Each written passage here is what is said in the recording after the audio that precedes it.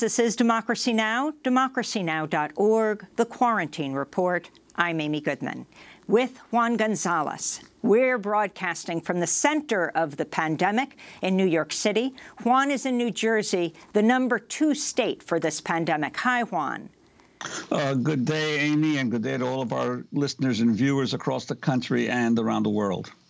Well, today marks the 50th anniversary of Earth Day, started half a century ago by Wisconsin Senator Gaylord Nelson as a national teach-in on the environment. In 1970, more than 20 million Americans participated in that first Earth Day, from coast to coast, 10% of the U.S. population at the time. Later that year, Congress established the Environmental Protection Agency and passed landmark laws to protect air and water quality, marine mammals, and endangered species. Earth Day looks quite different a half-century later in the midst of the pandemic as events and protests planned around the world have moved online. It comes as the Trump administration's gutted fuel economy standards and eased the enforcement of pollution regulations, and the Environmental Protection Agency has implemented its secret science rule that limits the use of studies that don't make their underlying data public. This year's Earth Day also comes in an election year. More than 50 scientists, including prominent climate experts released a letter this week endorsing former Vice President Joe Biden for president, writing, quote, we are confident that, unlike President Trump, Joe Biden will respect, collaborate with, and listen to leaders in the scientific community and public health experts to confront the existential climate crisis and other environmental threats, unquote. Last week, Senator Bernie Sanders endorsed Biden with an announcement of plans to form a joint policy task force on climate, and Biden said expanding his climate platform is a, quote, key objective. This comes as Trump promised Tuesday to bail out U.S. fossil fuel producers after an unprecedented collapse in oil markets. Meanwhile, Oxford University just passed a resolution requiring its endowment fund to divest from fossil fuel companies, and Harvard's president said Tuesday his university would divest from plans to decarbonize its endowment by 2050, which the student group Divest Harvard condemns, saying Harvard's once again standing with fossil fuel companies and against its students' futures. To talk about how far we've come since the first Earth Day 50 years ago and the challenges ahead, we're joined by Bill McKibben from his home in Vermont, author, educator, environmentalist, co-founder of 350.org. In his recent piece for The Nation, he writes, this Earth Day, stop the money pipeline. His piece in The New Yorker magazine asks how we can build a hardier world after the coronavirus. His latest book, Falter, has the human game begun to play itself out. Bill, thanks so much for rejoining us on Democracy Now! Uh, can you talk about the significance of this 50th anniversary of Earth Day and where we stand half a century after that, April 22nd, 1970? 50 years ago, as you say, was probably the biggest day of political action in American history. And it came out of the fury over the dirty air and the dirty water that marked our country. People were wearing surgical masks 50 years ago today, too but they were doing it to protest the almost unbreathable air in many of our cities, uh, the kind of air we now see in places like Beijing and Delhi.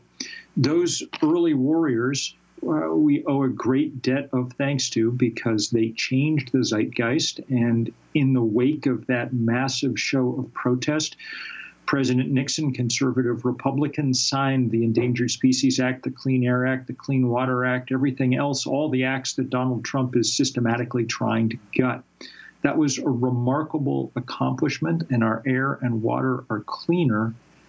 But we didn't make the kind of systemic fundamental changes that we would have needed to head off the much deeper environmental perils that face us now. I mean, in the last 50 years, Amy, the temperature has obviously gone sharply up. We've lost half the sea ice in the summer Arctic. The chemistry of the oceans has changed and changed dramatically. We've lost some of the biggest living things on Earth, the Great Barrier Reef, large parts of our rainforests. Half the wild animals in the world are dead now compared to 40 years ago those are remarkable changes that need to be met with remarkable upsurge again in protest and action. And we're seeing some of that, and we're seeing some of it today, albeit online at this 72 hours of Earth Day on live, uh, live that begins at 9 o'clock on Earth Day morning. Um, um, it, it's it's a struggle, a, a deeper struggle than we've ever seen before, and the salience of that struggle is highlighted as we deal with the pandemic. What are the messages that come out of this strange moment in human history?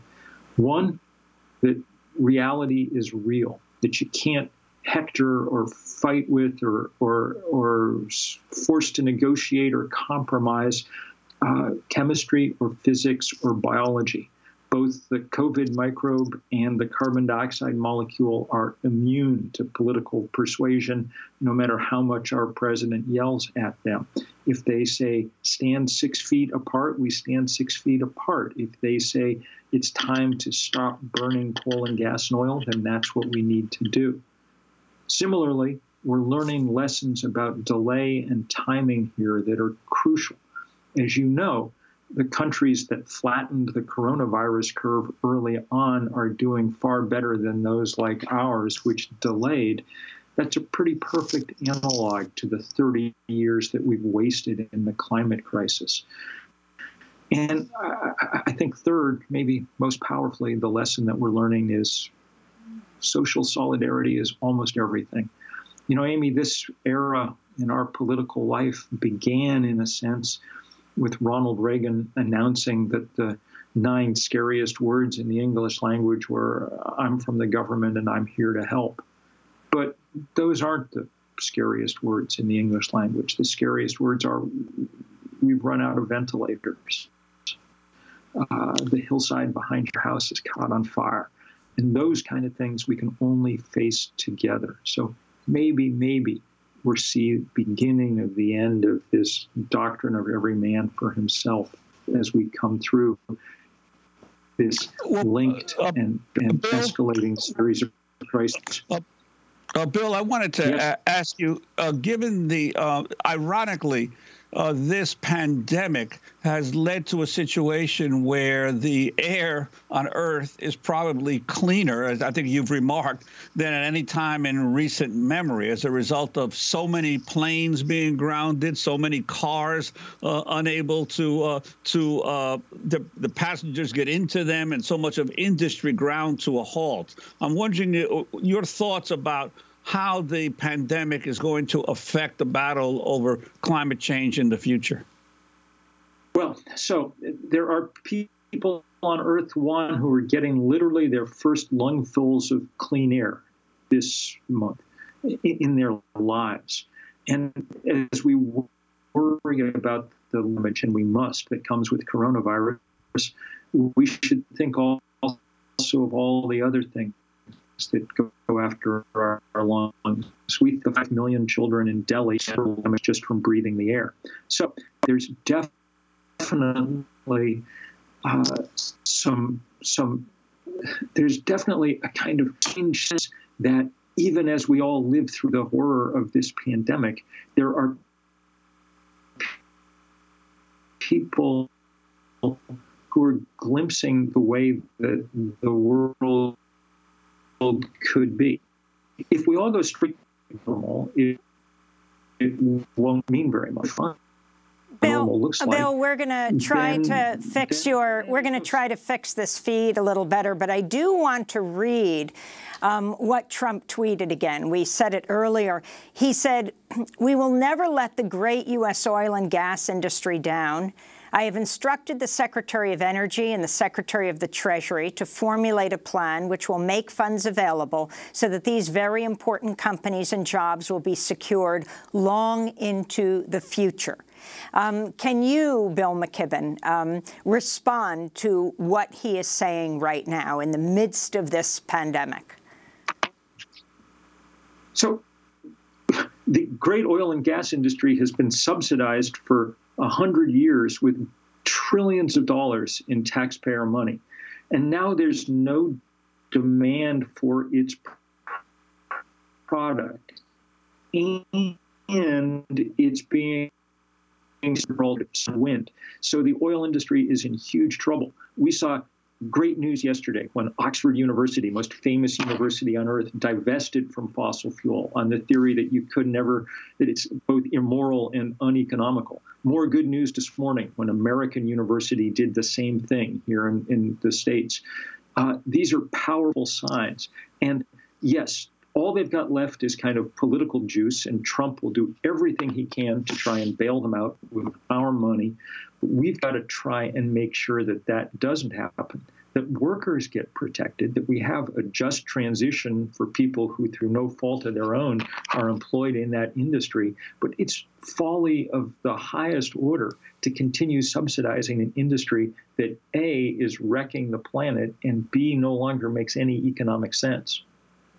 Uh, Bill, I wanted to ask you about your emphasis uh, uh, of late on, on cutting off the money spigot for the fossil fuel industry. There's the announcement recently of Citigroup uh, that they are going to, the third largest uh, bank in the United States, that they're going to, uh, from now on, not invest in new coal fired power plants or oil and gas exploration in the Arctic Circle. is this movement beginning to have a real impact on the financial? Underpinnings of the of the fossil fuel industry. Yeah, Juan, it sure is. Um, you know, one of the sadnesses about the pandemic from an organizer point of view is that this movement was cresting, and there would have been today people doing nonviolent civil disobedience sit-ins in probably half the 5,000 Chase Bank branches around America. Uh, some of us were arrested at the first of these in January in an effort to kind of launch this thing. Uh, we can't do that, obviously, so people are going online. This Earth Day Live thing is going to be really spectacular. But the the finance arm of the climate fight really has been growing fast in the last year. Probably the biggest victory was getting BlackRock to, uh, uh, well, getting BlackRock to make a series of announcements. This is the biggest asset manager on earth, really the biggest box of money on the planet. Getting them to make a series of announcements about uh, their new climate policies. Now we're monitoring to see if they're serious about it, to see if they're actually doing it. One of the first tests will come next month when Chase Bank, biggest bank in the world, tries to reappoint 81 uh, year old Lee Raymond to the lead post of lead independent director. He's the guy who ran Exxon for 15 years in the years when it was pioneering corporate climate denial. And now he runs the board of the biggest uh, fossil fuel funder on earth. That's the kind of thing that needs to stop. And we'll see. I mean, this pressure is going to be as unrelenting as we can make it, even amidst a pandemic. And New York City Council, what will it be voting on, Bill McKibben? You just had a virtual news conference with City Council members. Yes, Brad Lander and other City Council members uh, uh, announced Monday that they were seeking to help cut ties between the city and uh, banks like Chase that don't take climate change seriously. And that's a big deal because cities do a lot of business with these guys. Remember, Amy, that one difference between, I mean, we've pressured the fossil fuel companies very hard and to great effect. The divestment campaign's the biggest anti corporate campaign in history now um, uh, with $14 trillion engaged. But the fossil fuel industry will fight to the last bridge. They only know how to do one thing. If you're a bank like Chase, yeah, you lend a lot of money, a quarter trillion in the last four years to the fossil fuel industry, but it's still only six or seven percent of your business. So you might change and change fast if you got sufficient pressure, and that's the pressure that people are building now. And the and, live and stream of the three days of celebrations, Bill McKibben, um, in the midst of this pandemic, where can people go? And your final comment on what this pandemic can mean. Uh, Arundhati Roy, Roy talks about uh, the pandemic as a portal and how in the midst of this terrible suffering, um, something can come out um, that makes this world better and safer for everyone. Well, Google Earth Day Live to join this live stream, and then take a moment to reflect um, about the beauty that remains yet on even this hard pressed world. Um, it is our job, the job of our time on Earth, to try and figure out how to slow down and limit the civilization threatening changes that we see going on around us. We're capable of doing it. The engineers have provided us with the gift in the form of sun and wind energy. Let's see if we can come together to take advantage of it. Uh, we better, if we're on the current trends, then 50 years from now, Earth Day won't be a celebration, it will be uh, a funeral. Bill McKibben, we thank you for being with us, author, educator, environmentalist, co-founder of 350.org. We'll link to your pieces in the New Yorker magazine as well as The Nation. Uh, in it, he writes, this Earth Day, stop the money pipeline. When we come back, Kumi Naidoo, the former head of Greenpeace and Amnesty International. Stay with us.